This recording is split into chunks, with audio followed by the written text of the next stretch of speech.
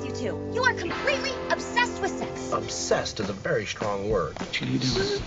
What are you doing? Taking mental photographs for my spank bank. I'm giving you a hall pass. A what? A hall pass. Week off from marriage. One of the things I, I felt when I was reading the script was I thought the initial idea, I was worried it might be a bit sort of misogynistic or it might be a bit seedy or a bit sexist. And I, I think they managed to avoid that. I mean, you know, it has inevitably the Farrelly gross out moments, you know. Look what I got here. What are those? Just some brownies. They're a bit naughty. Gary, I do uh, acting jobs as a, as time off in a way from from the writing and directing because it's just incredibly burdensome writing and directing. The, the, the pressure's on you the whole time. You're every day. You're you know you're on the set and you think you're trying to think about a hundred things at once. With acting, you just basically have to show up and not fall over. This is the this is one of the great secrets of acting. I'm not claiming to be you know one of the greats.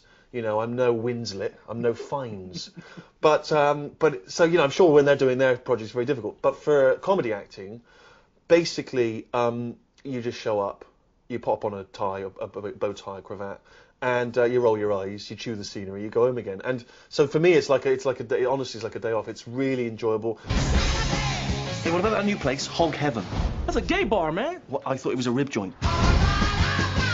Uh, excuse me, do you know how much a polar bear weighs? No, how much? Enough to break the ice. Hi, Fred Searing. How are you?